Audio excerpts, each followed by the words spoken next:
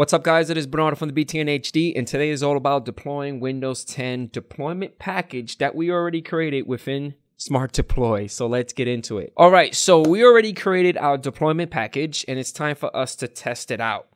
So let's get into our, you know, Smart Deploy uh, environment. So right now I have a machine and this machine is what I'm going to deploy our, you know, Windows 10 deployment package that we created together within Smart Deploy. So I'm going to go inside my Smart Deploy application. And within here, I'm going to go inside Computer Management, click on All Computers. And the one that I want to deploy is Desktop dash QDT44N, blah, blah, blah, right? So I'm going to go inside this machine, this virtual machine and I'm going to right click on the start menu and go to system. And I just want to show you guys that this computer matches what is inside the smart deploy uh, computer management. So I'm going to go inside my smart deploy. I'm going to select it. And once you select it, you're going to get an action little menu. And the action that we want is deploy image. So we're going to click on deploy image. And you're going to get this nice little dialog box, which allows you to pick your package. I only have one package, and that's what I'm going to deploy.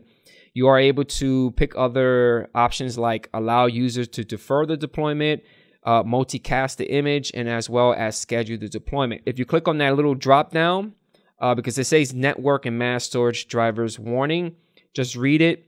It's still going to work out, but for now, I'm just going to click OK, and you're going to get this.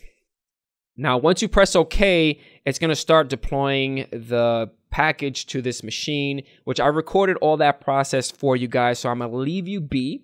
I'm going to cut the video short and I'm just going to let you see what happens once I hit OK. And you're going to see the deployment package deployed to this machine and get a successful uh, image, which is awesome. So hopefully you guys enjoy this video. Make sure to hit that like button. Also, do not forget to also punch elbow and smash that subscribe button to get the latest and greatest from this guy. and I catch you guys on the next one. Peace out. Also, don't don't don't stop the video. Continue watching. Watch the rest of it. You're going to see the deployment process. That's the good part. Peace out.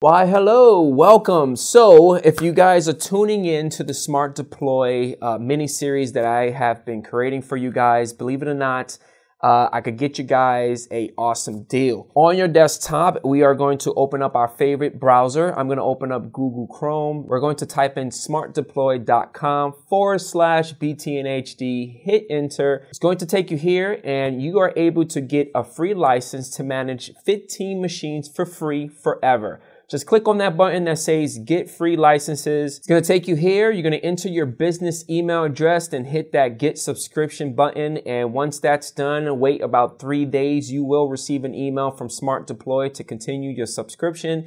And that's it.